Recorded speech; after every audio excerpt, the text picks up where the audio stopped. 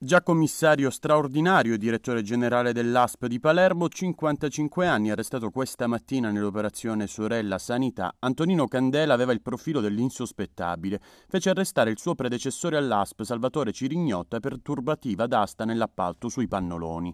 Ai tempi direttore amministrativo dell'azienda sanitaria, insieme con l'allora capo del provveditorato Fabio Damiani, attuale direttore generale dell'ASP di Trapani, anche lui arrestato stamattina, denunciò Cirignotta alla procura e all'ex assessore alla salute Lucia Borsellino. Entrambi furono premiati dall'ex presidente della regione Rosario Crocetta. Candela prese il posto di Cirignotta alla guida dell'ASP. Damiani fu chiamato a gestire la centrale unica di committenza creata con una norma della finanziaria regionale per recepire le norme nazionali sugli appalti.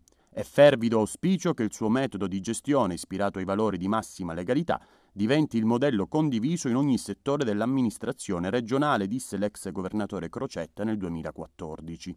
Con l'arrivo di Musumeci al governo regionale, però, Candela non viene confermato ai vertici della sanità siciliana. Molto vicino a guidare l'ASP di Catania, poi la Seus, infine l'ASP di Cosenza. Torna con un incarico fondamentale in Sicilia soltanto a marzo di quest'anno, con la nomina coordinatore dell'emergenza coronavirus nella regione. Damiani, invece, dopo la revoca dell'incarico alla centrale unica di committenza, venne nominato direttore generale dell'ASP di Trapani.